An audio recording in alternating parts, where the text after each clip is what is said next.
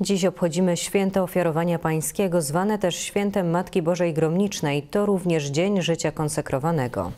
Dzień życia konsekrowanego ustanowił święty Jan Paweł II w 1997 roku. Osoby konsekrowane winny się specjalizować w cierpliwości, szukaniu Boga i dzielenia się z wszystkimi radością, że można Go znaleźć, mówi ojciec Janusz Sok, prowincjał warszawskiej prowincji redemptorystów, przewodniczący konferencji wyższych przełożonych zakonów męskich w Polsce. A to doświadczenie, że czasem trudne okoliczności życia, jak samotność, cierpienie, choroba, mm, nie wiem, niepowodzenie jakieś, yy, niedostrzeżenie, niedocenienie, osądzenie, yy, a mimo wszystko można w tym wszystkim czuć się spełnionym, bo nie jestem sam. Nigdy nie jestem sam, bo Bóg nie zawodzi. W Polsce posługuje ponad 31 tysięcy kapłanów i sióstr zakonnych.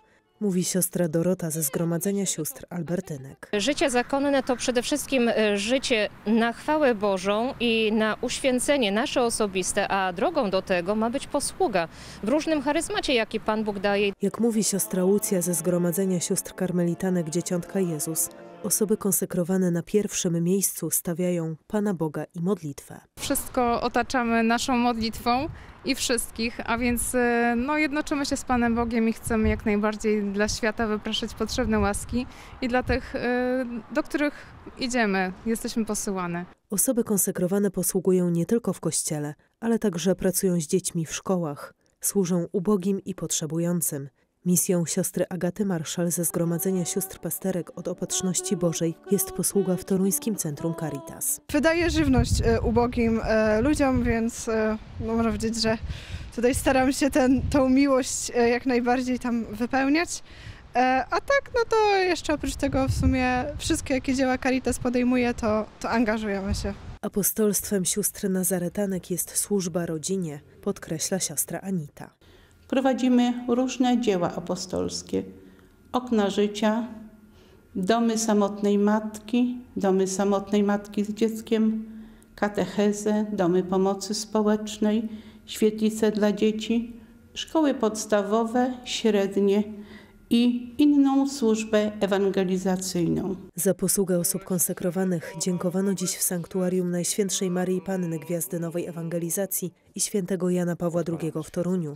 Uroczystej Eucharystii przewodniczył ordynariusz diecezji toruńskiej ksiądz biskup Wiesław Śmigiel. Osoby konsekrowane w takim właśnie świecie pokazują, że nie wszystko jest płynne i mało ważne.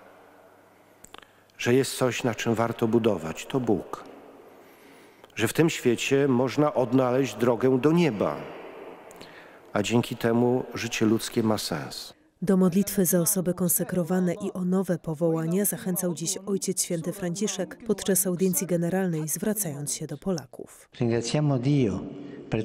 Dziękujemy Bogu za naszych braci i siostry zakonników i zakonnice, którzy poświęcili swe życie Chrystusowi i Kościołowi, angażując się w ewangelizację, edukację, w dzieła miłosierdzia i w wiele innych form posługi duszpasterskiej. Módlmy się również o nowe powołania do życia konsekrowanego. Z serca Wam błogosławię.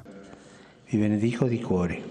Podczas wieczornej mszy świętej w Bazylice Świętego Piotra w Watykanie papież Franciszek zachęcał osoby konsekrowane, aby wzięły Jezusa w swoje ramiona i z entuzjazmem odnowili swoją konsekrację. Postawmy Go na nowo w centrum i idźmy naprzód z radością. Hasłem tegorocznego Światowego Dnia Życia Konsekrowanego są słowa komunia, uczestnictwo i misja w życiu osób konsekrowanych.